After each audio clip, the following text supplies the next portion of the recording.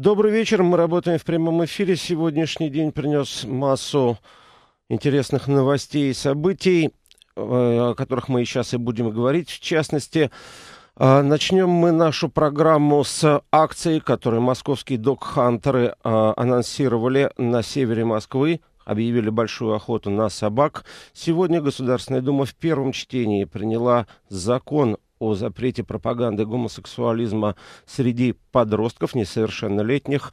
Также Московская городская дума обсуждает активно инициативу об увеличении штрафов за неправильную парковку.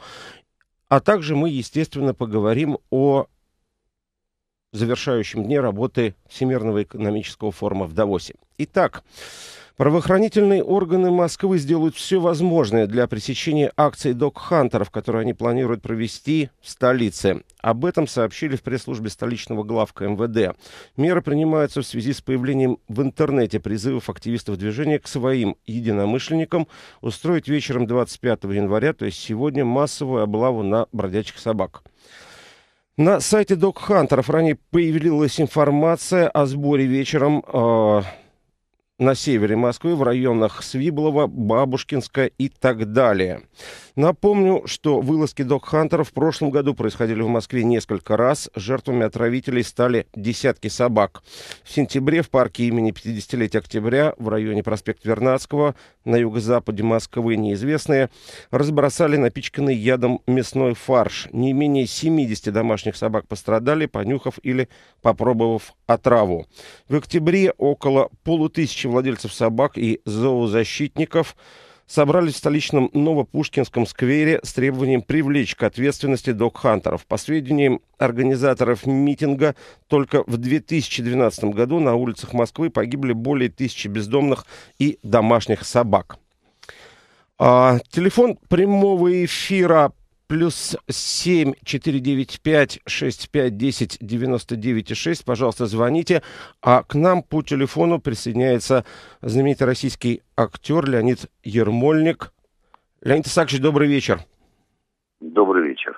Да. Э, Леонид Исаакович, вы как раз были э, одним из участников того митинга, о котором я сейчас говорил, в октябре. Э, да. Скажите, пожалуйста, ну, все-таки история спорная, на мой взгляд, uh, с тем, что сами собачники и владельцы собак далеко не всегда, мягко скажу, соблюдают правила содержания своих питомцев. Безусловно, конечно, э, сколько людей, столько бывает, э, как во всем, э, навыков, правил, культуры. Просто мы же сейчас говорим не о правилах содержания собак, а мы говорим об убийстве, о безжалостном, безразборном, о, ну, о, об античеловеческих поступках, и говорим об этом уже давно и много. И я, честно говоря, просто э, выхожу в эфир для того, чтобы поблагодарить радиостанцию за то, что вы тоже обратились к этой теме, хотите обратить на это внимание, но я испытываю некоторый пессимизм по отношению к этому вопросу, или вернее к его решению, потому что митинги, они ведь делаются не для того, чтобы люди собрались и друг другу чего-то рассказали, а, наверное, для того, чтобы обратить внимание соответствующих ведомств э, и руководства города, э, если хотите, страны, на то, что эта проблема существует. Дело ведь не в собаках, а дело в том беспределе и в той вседозволенности, безнаказанности, которая происходит. И а, ВОЗ э, поныне там. Э, я не, не видел никаких и не слышал ни о каких поступках и о каких-то предпринятых мерах э, со стороны властных э, структур и регулирующих организаций для того, чтобы хоть что-то сделать, э, для того, чтобы пресечь безжалостное убийство животных. А, можно по-разному относиться к животным, можно по-разному относиться к людям, к детям и так далее, и так далее. Но это не значит, что люди могут позволять себе убивать. Вот и все, вот о чем идет речь. А о том, что должен быть порядок, и о том, что нужно правильно выгуливать собак, и нужно за ними следить, и нужно делать так, чтобы они доставляли дискомфорта окружающим. Это естественно, это понятно. Но нельзя э, за о грехе э, единиц э, расплачиваться сотнями жизней э, любимых питомцев. что для многих собака это может быть порой единственное живое существо, чем люди делят свое время, свою жизнь. Это единственный комочек тепла и любви и взаимности. И э, поступать могут только так не люди, кто разбрасывает э, яд, а траву. Э, вот с чем бороться нужно. Нужно бороться не с собаками, а с людьми. Совершенно с вами согласен, Леонид Исаакович. А, меня, я просто единственное хотел э, вот такую ремарку сделать. А, вот вы говорите о том, что да. без э, действия властей, но оно а, как в отношении тех, кто травит собак, так и в отношении тех, кто не, не соблюдает правила выгул собак и так далее. Тут ведь тоже введены ну, штрафы, наверное. но я не слышал ни об одном штрафе, если собака, извините, сходила по малой или большой нужде на детской площадке. Ой, до этого нам еще очень далеко. Вы знаете, мне много приходится бывать за границей, э, и даже тогда, когда я туда выезжаю со своим персиком, э, когда он не, не, не у меня, скажем, на участке, э, мы ходим с целлофановым пакетиком. Это все очень просто. Если вокруг люди себя ведут нормально и у них принято так, нужно жить по закону, по которому живут люди вокруг тебя, потому что ты вписываешься в ситуацию. У нас до этих пакетиков, наверное, очень далеко. Э, давайте будем трезвыми людьми. Э, хотя, безусловно, к этому стремиться надо. Но это опять-таки мы уходим в сторону от проблемы. Э, мы очень много чего нарушаем и без собак, да.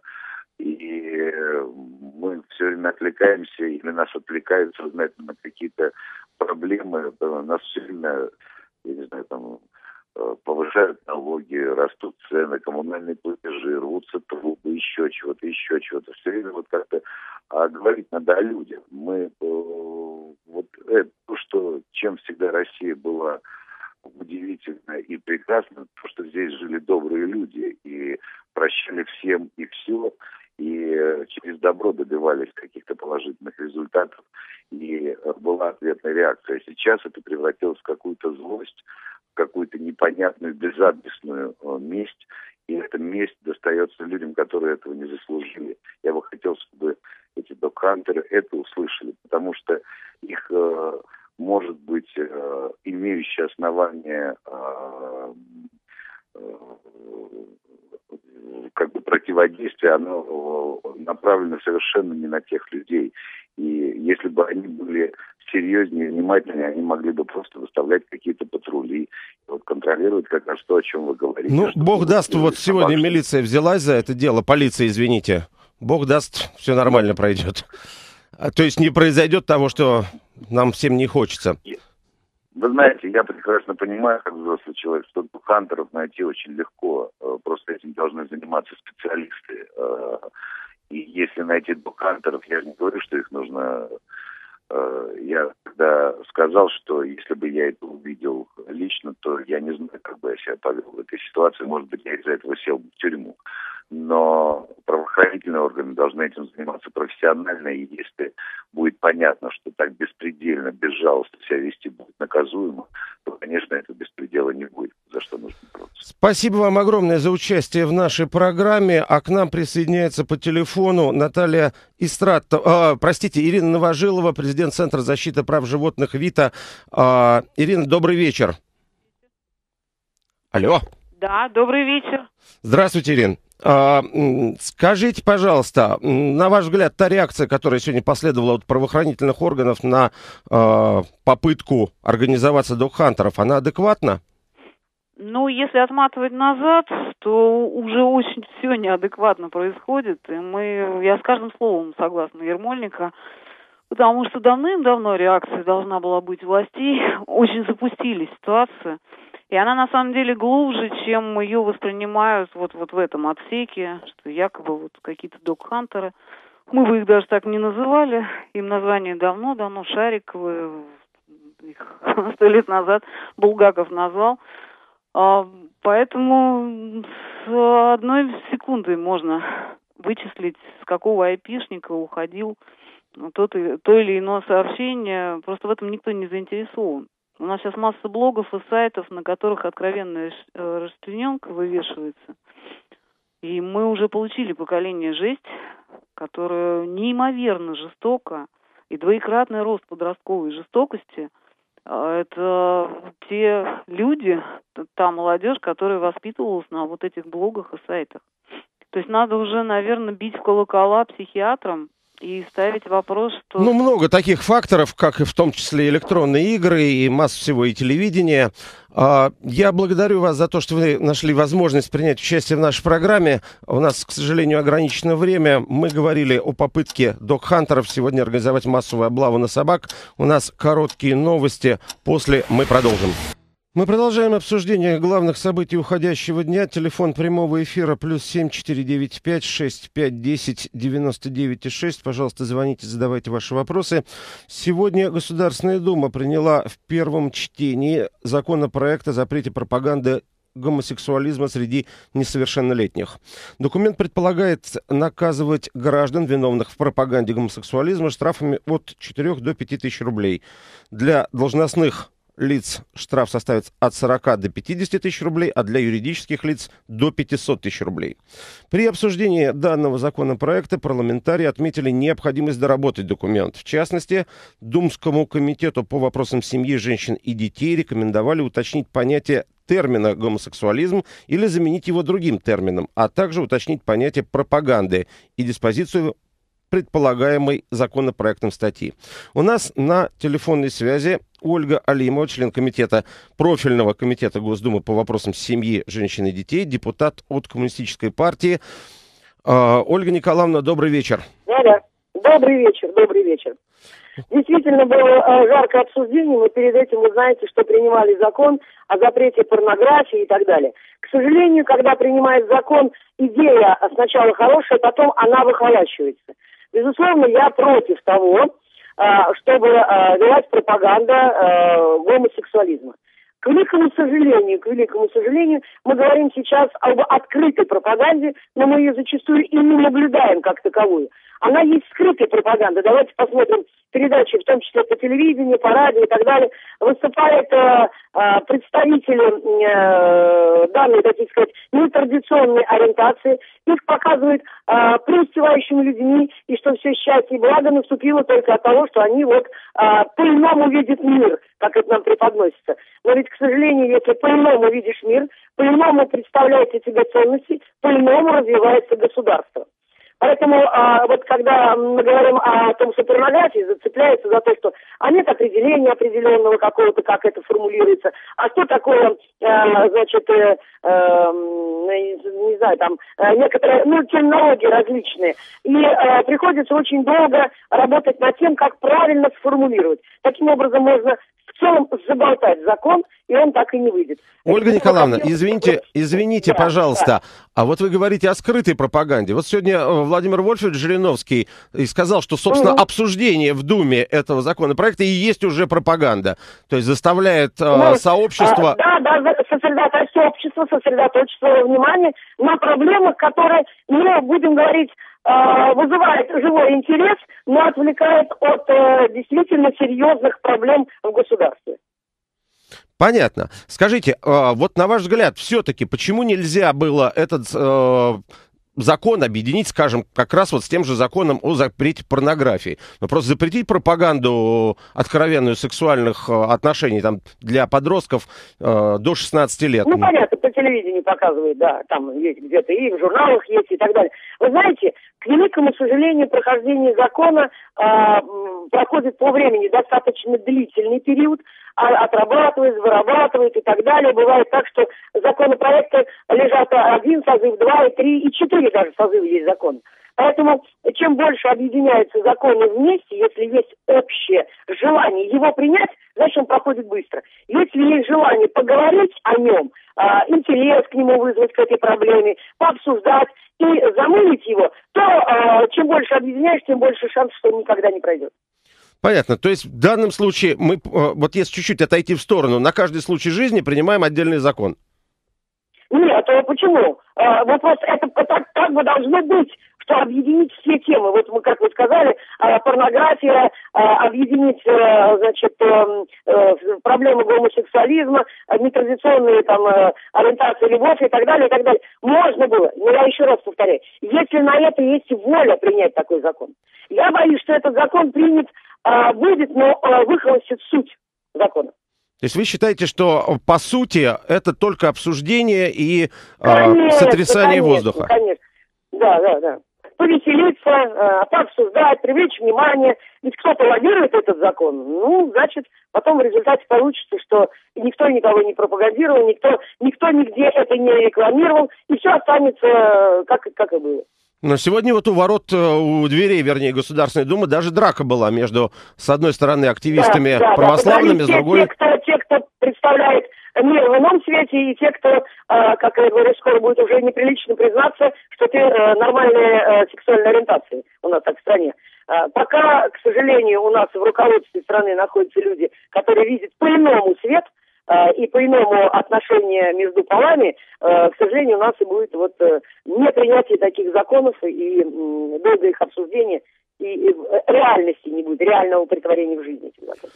Ольга Николаевна, вот э, насколько я понял из информационных сообщений, э, на доработки какие-то возвращают, э, ну, на определенные доработки в ваш комитет законопроект. Зачастую всегда так происходит, всегда так происходит на доработку, потому что даже если приняли в первом чтении, э, это принимает концепцию, а затем обсуждает и вносятся коррективы, э, разные иные точки зрения. С юридической точки зрения нужна четкая э, формулировка, э, так как если это придется обращаться в суды э, за э, контролем исполнения того или иного закона, это должно четко звучать и э, чтобы не было попыток трактовать так, как удобно той или иной судебной инстанции. Хорошо, когда будет второе чтение? Непонятно пока? Мне, мне сложно сказать, когда будет второе чтение. Э, как поработаем, сейчас у нас будет неделя в регионе, потом неделя комитетов работы. Вот, может быть, э, на той неделе, э, через неделю проработает в комитете. И э, как, как дадут установку с правительства, как быстро его надо принять. Когда хотят быстро принять, в течение трех дней, за ночь и так далее приняли. Если не хотят, можно ждать годами. Большое спасибо. А, я напомню нашим слушателям, что у нас на прямой связи была Ольга Алимова, член Комитета Государственной Думы по вопросам семьи, женщин и детей, депутат от Компартии. А, сегодня Госдума обсуждала и приняла в первом чтении законопроект о запрете пропаганды гомосексуализма среди несовершеннолетних. А к нам присоединяется по телефону Эдуард Мишин, главный редактор сайта gay.ru. А, Эдуард, добрый вечер. Скажите, пожалуйста, а почему такое резкое неприятие со стороны ЛГБТ-сообщества вызывает этот законопроект? Ну, а вы считали, что он будет э, поддержан ЛГБТ-сообществом? Разумеется. Э, самый первый вопрос, кто будет определять, что такое пропаганда, э, какие за это последуют э, наказания. И, сам, и, в общем-то говоря, закон явно направлен э, не для того, чтобы действительно там оградить детей от пропаганды, а для того, чтобы решать какие-то свои э, политические задачи в той или иной степени. Что в этом может быть замечательного? Разумеется, его все приняли в штыки. А, просто речь шла о том, что якобы нарушаются а, гражданские права а, сексуальных меньшинств. В чем выражается, на ваш взгляд, нарушение гражданских прав с принятием именно этого закона? Ну, в общем-то говоря, здесь э, легко проследить, например, по судьбе, э, к сожалению, закрывшегося в бумажном варианте э, журнале э, «Квир», э, единственный гей-журнал в России, который выходил. Как только был в Питере принят такой закон, журнал мы там издавать больше не смогли. Сейчас, можно сказать, в какой-то степени удачно успели закрыть его до того, как закон был принят в Москве. То есть, в общем-то говоря, никакого своего общественного бумажного носителя у гей-сообщества не осталось. Потому что распространители не хотят распространять журнал, который вполне возможно служит пропаганде э, в киосках, который, возможно, находится рядом со школой и так далее. А следующим вопросом, который мы ждем, это... Простите, говоря... рядом со школой в киосках нельзя и порнографию по, гетеросексуальную продавать. Ну, это был не порнографический журнал, это был журнал, в общем-то, такое общественного значения, и... но это никого не волновало, честно говоря.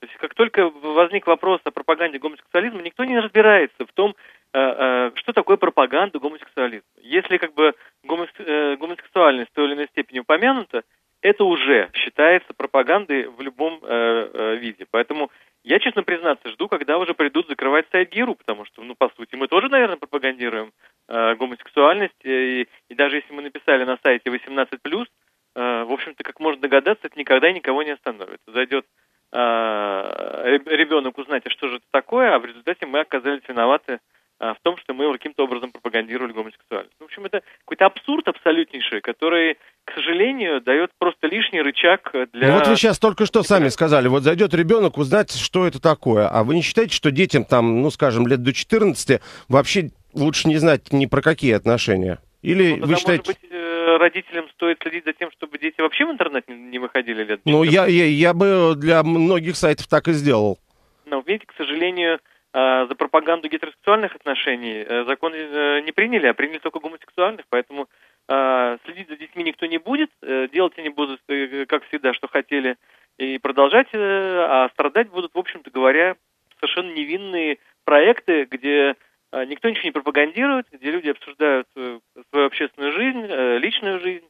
А, согласитесь, если вдруг внезапно вы интересуетесь, например, автомобилями и ходите на сайты, и вдруг внезапно узнаете, что теперь это запрещено, вот что вам теперь делать, по большому счету? А, как бы перестать э, забыть о своем хобби, ну, такое грубое сравнение, конечно, да, ну, перестать читать журналы, не смотреть передачи. Согласитесь со мной, что вот как раз в, в области интернета ограничений, ну, практически невозможно. Вы переедете в другую доменную зону и будете так, так же работать.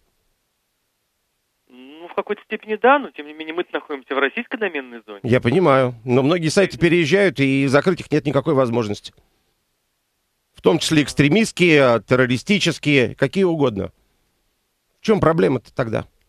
Ну, видимо, проблема в том, что действительно сначала как бы сайты надо будет переносить, а через какое-то время я так подозреваю, что и переезжать придется, потому что уже само нахождение в этой стране а, покажется... Да а, Господь с вами, Господь с вами, я вас умоляю, у меня есть достаточное количество а, представителей, я так скажу, нетрадиционной сексуальной а, ориентации, прекрасно себя чувствуют, занимаются бизнесом, работают в самых различных сферах успешные люди.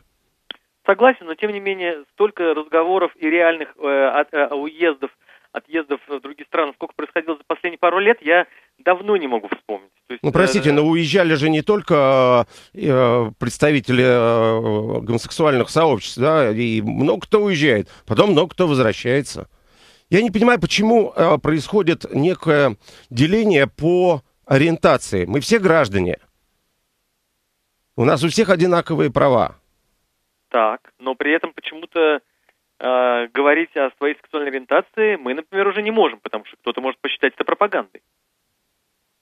То есть вы полагаете, что э, открытое заявление будет считаться пропагандой? Однозначно. Но, хорошо, Они но речь ведь идет не о... на улицу с плакатом э, Э, я хочу э, что-то типа там, как там Фаина Раневская сказала. Да-да, я, понимаю, я помню эту цитату. Есть только два вида извращений. Да, балет на льду и что-то там еще. Да, и при этом как бы человек попадает... Но речь-то идет о пропаганде среди детей, среди подростков. Пожалуйста, а все старше плюс 16 плюс и, пожалуйста, 18 плюс. Я вышел на улицу с плакатом. Формально говоря, меня видел, видела подросток. Я открыл сайт в интернете, формально ко мне зашел и подросток. То есть подросток, в общем-то говоря, как бы может появиться из ниоткуда и даже сам не знать, что такая пропаганда рядом с ним была и имела место. Я говорю, это очень удобный механизм, на самом деле, для а, манипуляции людьми, для того, чтобы вам, как бы, пока ваш ресурс как бы нормальный, он там... Большое спасибо, нравится. извините, у нас новости. Спасибо, что приняли участие в программе. Мы продолжаем работу в прямом эфире. Телефон в студии плюс семь четыре девять пять шесть пять десять девяносто девять и шесть. В столице вырастут штрафы за неправильную парковку во дворах, которые могут существенно ударить по карману большинства автовладельцев. Соответствующие поправки в Кодекс об административных правонарушениях уже внесены на рассмотрение Мосгордумы. Как предполагается, с хозяев легковушек будут взыскивать по 5000 рублей, с владельцев грузовиков до 200 тысяч рублей. По мнению экспертов, одной из целей новых репрессий является очередная попытка властей загнать автолюбителей в полупустующие и непомерно дорогие так называемые народные гаражи. К нам присоединяется по телефону адвокат Александр Гулько. Александр, добрый вечер. Добрый вечер, Михаил. Скажите, пожалуйста, вот э, с вашей точки зрения, с точки зрения право, э, правоведа, э, такое повышение штрафов оно э, обосновано, вернее, не обосновано, законно ли оно? Ну, скажем так, с позиции законно ли оно, оно законно и разумно было бы тогда, когда был, была бы почва готовая для того, чтобы люди ставили машины туда, где они никому не мешают, да? Но все прекрасно знаем, что в большинстве районов города Москвы, тоже в том числе и центральных, ставить машин абсолютно некуда.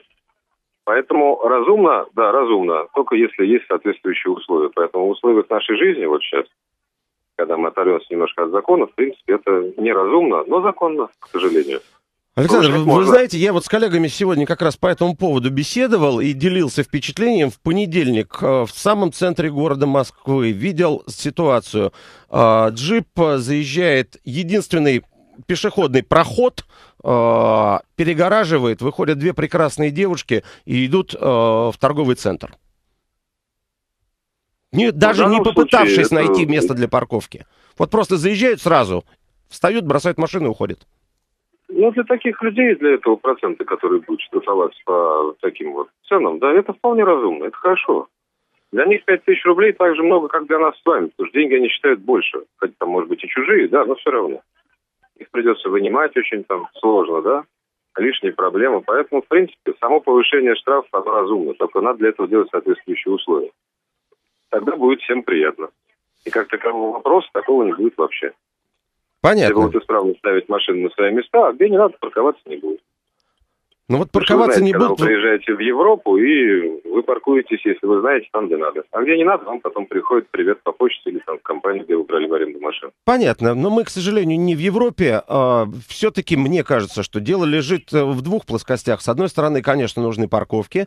С другой стороны, все-таки большая доля ответственности лежит, собственно, на водителях, потому что бросают машины как хотят несмотря ни ну, на какие штрафы. с вами, да. Это абсолютно правильно. Поэтому для тех людей, которые бросают как хотят, ну, не считая нас с вами, уважаемых граждан города Москвы, да, э, это будет очень прекрасная мера превентивная такая. Ну, пару раз штраф получит, ну, не будет ходить в торговый центр прямо в двух шагах, будет в пяти ходить с правильного места.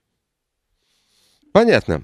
Но, тем не менее, а, вот ситуация а, с народными гаражами, да, так называемыми, а, она как-то исправит э, положение вещей или нет? Если они будут существенно снижены в ценах, тех, которых люди смогут их приобретать, да, или пользоваться хотя бы ими в аренду, или как-то еще их использовать в нормально, вот в разумных пределах, она, да, она будет, в принципе, вполне э, соответствовать тому, что пытается сделать правительство. Если цены останутся такими же, которые есть сейчас, я боюсь, что народные гаражи останутся пустовать все равно их будут сдавать в аренду, все равно там будут какие-то такие всякие темные вещи, там еще машины там стоят, но с ними ситуация только улучшится тогда, когда понизит цены. Больше никак. По-другому ну, функционировать нормально они, к сожалению, не смогут. А, по данным, которые разные источники приводят, эти народные гаражи а, стоят от а, 500 до 800 тысяч рублей. Ну, я знаю, что от 300 они стоят, поэтому я считаю, что это неразумно. Я, допустим, простой обыватель, который получает там, ну, допустим, среднюю зарплату там 45 тысяч рублей, и имея машину какую-нибудь тоже такую среднюю, э, не буду покупать даже в кредит этот народный гараж, потому что мне это, в принципе, абсолютно невыгодно и неинтересно. Я буду парковаться где-то далеко у метро и идти пешком, если будет безвыходная ситуация. Или в крайнем случае откажусь от машины, если совсем будет плохо со штрафами там, и так далее, да, то есть условия будут меня ужимать. И в этом случае, я думаю, так поступит там большинство людей, и народные гаражи постепенно через какое-то время провалятся. Ну или там примут какие-то меры по уменьшению их стоимости, что вряд ли. Понятно. У нас, у, у нас есть телефонный да? звонок. Э, слушатель угу. Алексей. Алексей, добрый вечер, вы в эфире. Добрый вечер. А, вот я бы хотел с вами поговорить по поводу народного гаража. Да, пожалуйста. Да. Знаете, я не интересовался особо, где они построены. Вернее, даже я сказал так, что я интересовался этим одно время. Вот, и понял для себя, что этих гаражей очень мало. То есть э, рядом с моим домом этих гаражей в принципе нету, они не построены. То есть я знаю, что вот, грубо говоря, там э, в большом радиусе он есть. Но для меня это совершенно нереально, он очень далеко поблизости таких гаражей нету. То есть, в принципе, я живу в обычном спальном районе, утыканном домами, вот, которые, в принципе, не спланированы под, э, под то, что у многих будет машина. То есть, если вот сейчас мы, насколько знаем, что у нас намного меньше на тысячу человек машин, чем в Европе, при всем при этом наши дворы сделаны таким образом, что даже это количество машин некуда ставить. Вот. Э, это вот во-первых. А во-вторых, вот э, у меня, например, во дворе, несмотря на то, что это новый квартал, э, есть место, где стоят ракушки. Они занимают э, небольшой такой пятачок, на котором прекрасно бы построили бы, могли бы построить народный гараж. И я уверен, что эти гаражи были бы куплены даже по тем ценам, по каким они сейчас продаются. Но их нет, этих гаражей, их не строят. Ракушки на том же месте в огромном количестве у нас э, в районе. Э, бороться с ними никто не хочет. А много мест, э, которые сейчас занимают ракушки, можно было бы на этих местах строить народные гаражи. Я думаю, что их покупали бы.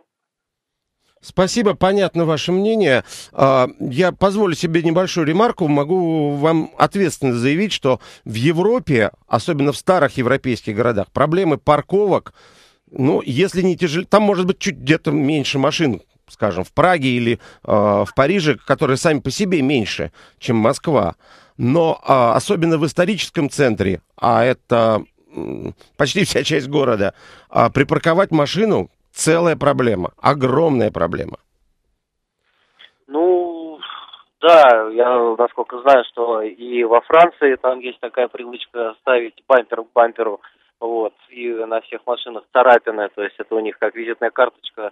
Э, ну, центр города, да, я согласен с вами, но в Москве вряд ли, мне кажется, приживется полностью вот э, такой общественный транспорт, что большинство ездит на общественном транспорте, все равно он не такой удобный, как машина, как бы вот они старались выделенными полосами, пока это реально он не, не будет просто удобно, неудобный, он задохнется. ездить на машины.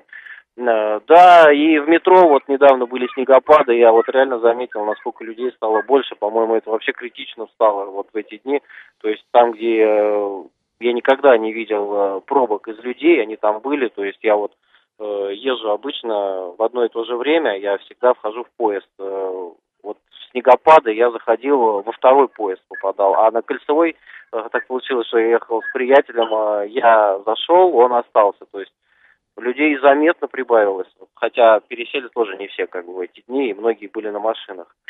Вот. Спасибо вам, Алексей, за звонок. Александр, скажите, пожалуйста, вот как, э, наверное, вы э, и шофер, и пешеход тоже в одном лице, как и многие из наших слушателей. На ваш взгляд, вот э, не профессионального юриста, а человека... Обывателя. А обывателя. А да. где, где может лежать а, ключ к решению проблемы? Ну, начнем с того, что сама проблема лежит очень давно поскольку у нас э, вообще город изначально давным-давно еще не был приспособлен вообще, в принципе, для большого количества машин, да? Это правда, абсолютно. Помним советские времена, там, застой, и, там, даже перестроечные периоды, и вот там где-то в конце 90-х, в середине начали появляться отдельные экземпляры, там, с каким-то красивым Мерседесом и другим хламом, там, такого страшного названия, да?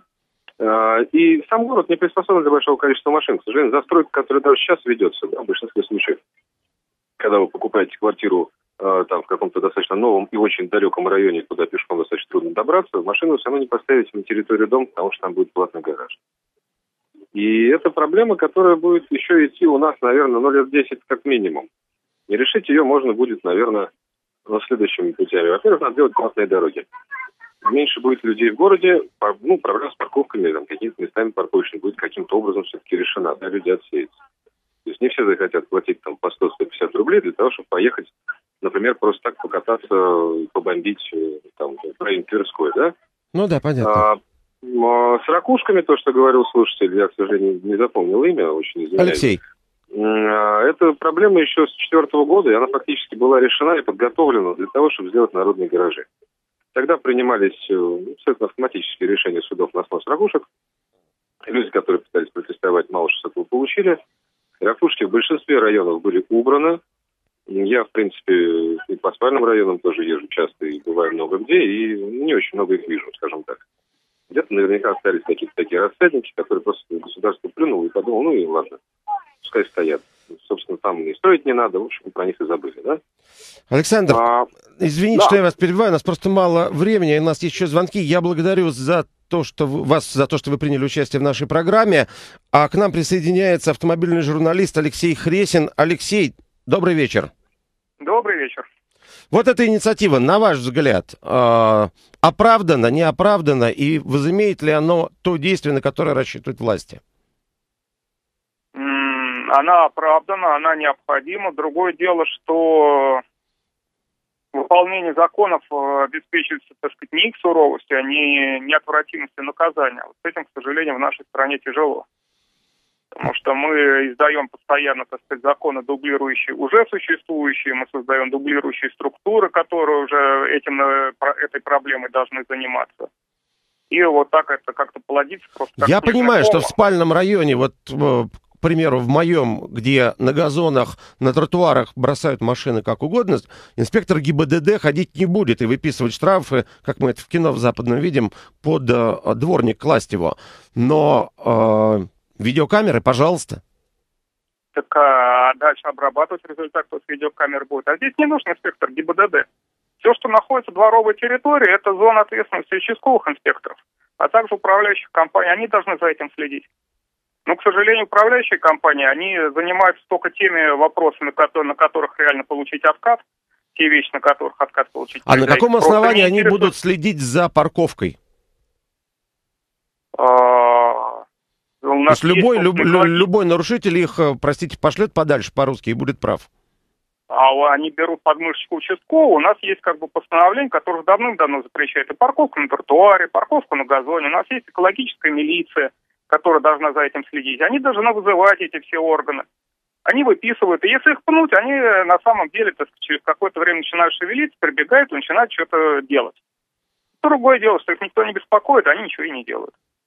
Прямо ну, без этого хорошо. В принципе, тогда по следуя этой логике достаточно телефонного звонка э, простого жителя. Нет, телефонного звонка недостаточно. Телефонный звонок, он будет точно так же проигнорирован. Должна быть массированная, так сказать, кампания с написанием э, писем в мэрию, в префектуру, еще куда-нибудь, еще куда-нибудь. А так, я говорю, все, что дворовая территория, это участковый инспектор. То есть управляющая компания берет участковый инспектор. Они ходят, как бы переписывают номера машин, составляют протоколы. Большое спасибо. У нас на телефонной связи был Алексей Хресин. Автомобильный журналист, и мы говорили о том, что московские власти собираются резко повысить штрафы за неправильную парковку автомобилей во дворах, а, на газонах и на тротуаре. В швейцарском Давосе завершает свою работу Всемирный экономический форум. К нам а, по телефону присоединяется главный редактор радиостанции Финам ФМ Катерина Романова. Катерина, добрый вечер. Добрый вечер, Михаил и слушатели. Да, действительно, сегодня, 25 января, продолжает свою работу Всемирный экономический форум. А, закончится все это завтра, а э, сегодня в Конгресс-центре идут э, пленарные заседания, члены русской делегации проводят встречи с инвесторами и партнерами.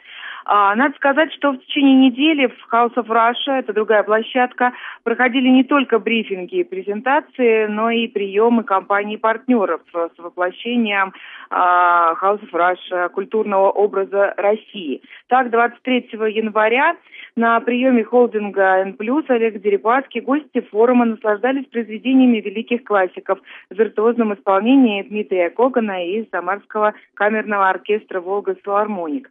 А, вчера, 24 января, на приеме ОАО «Курорты Северного Кавказа» гости Дома России познакомились с национальной кавказской кухней, э, музыкой и танцами в исполнении Государственного академического заслуженного ансамбля танца Дагестана «Лезгинка». Перед приемом мне удалось побеседовать с председателем Совета директоров ОАО «Курорты Северного Кавказа» Ахмедом Белаловым. Фрагмент интервью предлагаю послушать сейчас в прямом эфире.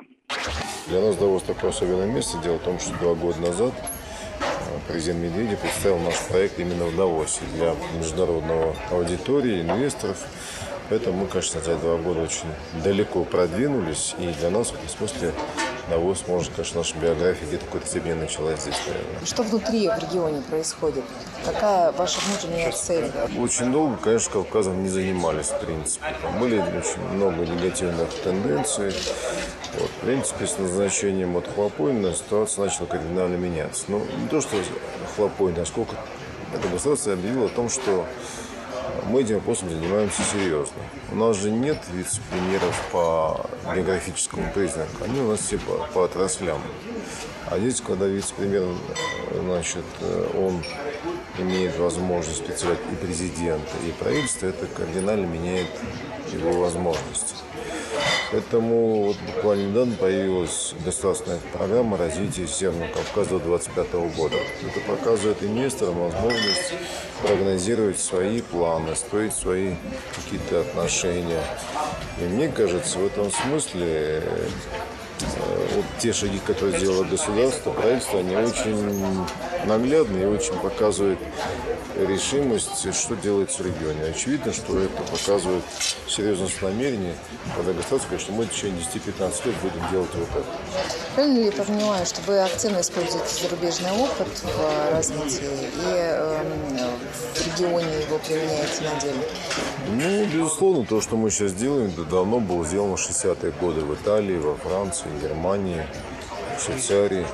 Естественно, мы стараемся взять лучшее и все делать, не повторяя тех ошибок, которые были сделаны. Ну, в частности, многие вот, европейские курорты, они выросли из деревень. Там, там есть масса ограничений, там людей нельзя переселить, там уже улицы узкие сложившиеся. Поэтому в этом смысле у нас возможно лучше, что мы можем делать все с нуля. Надо делать то, что будет актуально лет через 10, через 20, а не то, что уже сделано, копировать то, что сделано уже до этого. Добавлю только, что вчера лезгинку танцевали не только эм, э, участники ансамбля, но и э, гости э, House of Russia. А сегодня вечером, 25 января, свой прием проведет э, финансовая корпорация «Открытие». А о своем участии в форуме рассказал член Совета директоров Рубен Агамбинян. Вот здесь в Давосе вам помогло такое скопление лидеров для своего бизнес-сценария выстроить какой-то план, заключить какие-то контракты, провести встречи? Мы не смотрим на этот форум как на место, вот как, знаете, вот определенные форумы любят там сказать, что у нас на форуме было заключено столько-то контрактов на такие-то суммы. Мы этим не меряем, э, мы потратили время на общение с экспертами, с контрагентами, на то, чтобы услышать их, что происходит, какие э, влияния происходят. Такая приятная возможность, не находясь в цветноте ежедневной деятельности, просто немножко отвлечься на какие-то происходящие в мире события, которые могут повлиять на твой бизнес. Ну, дело в том, что есть несколько таких важных, в общем-то, событий в мире или России, в которых надо принимать участие для того, чтобы просто понимать, куда все движется в твоей индустрии и вокруг. Потому что мы живем, в общем-то, в достаточно сбалансированной системе. И, соответственно, важно понимать, какие водные надо учитывать, когда ты строишь свою стратегию, бизнес-тактику и так далее, что происходит э, у других. Что касается стратегии, вчерашнее выступление по поводу стратегии развития Российской Федерации, какая из стратегий вам симпатична или, может быть, у вас есть своя? Да нет, ну те сценарии, которые, в общем-то, показаны, они вызывают определенное беспокойство больше, чем а, какой из них ближе. И я все-таки надеюсь, что удастся наладить процесс реформ для того, чтобы ну, те негативные сценарии, которые были показаны, не произошли бы. На самом деле в любом позитивном сценарии он очень простой. Как? Что будет конкретно делаться, как и когда для того, чтобы все эти сценарии произошли. Мне кажется, у нас нету проблем идей, у нас нету проблем сценариев, у нас всегда есть проблема последовательного осуществления выбранного пути и движения по нему. Ваш прогноз по поводу заявки на Экспо 2020? Ну, у меня нет прогноза. Я надеюсь, э, что э, мы это выиграем, если мы хотим это выиграть, если у нас есть деньги на то, чтобы это выиграть. Но, в принципе, мне кажется, мы уже достаточно участвуем во всяких международных процессах. Вот. Поэтому уже и так достаточно будет результатов, их, мне кажется, видно. Поэтому посмотрим. Итак, последний прием, который проведет сегодня в Русском доме ФК «Открытие», а, будет заключительным. Больше официальных приемов и больших мероприятий для гостей форума проходить не будет. И эта вечеринка, которую, а, который э, концерт проведет группа «Ленинград» и называется здесь как «Final Party». Завтра э, House of Russia будет работать в обычном свободном режиме, в, в котором могут э, также приходить гости форума и задавать свои вопросы а тем, кто присутствует в Доме России. Ну и меняться контактами, узнавать, какие перспективы на будущее у этого взаимодействия возможны. Михаил. А, Катерина, скажите, пожалуйста, вот по вашим личным ощущениям, такое, такое массированное присутствие России, а, презентация разных возможностей, которые есть в России, а они достигли своих целей? Что иностранцы говорят? Иностранцы довольны, иностранцы проявляют большой интерес, и те, кто бывали на мероприятиях э, в of Russia, все уходили с широчайшими улыбками и долго пожимали руки организаторам, участникам и тем компаниям, которые, э, компаниям-партнерам House of Russia, которые проводили здесь э, мероприятия. В общем и целом, в самом Давосе мероприятий проходило очень много, связанных с, с эм, Всемирным экономическим форумом. И я думаю, что те, кто посетил House of Russia здесь в Давосе, получили или дополнительные, или первые, но весьма позитивные впечатления о России. Большое вам спасибо за то, что приняли участие в нашей сегодняшней программе. Напомню, что с нами на прямой связи из Давоса была главный редактор радиостанции Финам ФМ Катерина Романова.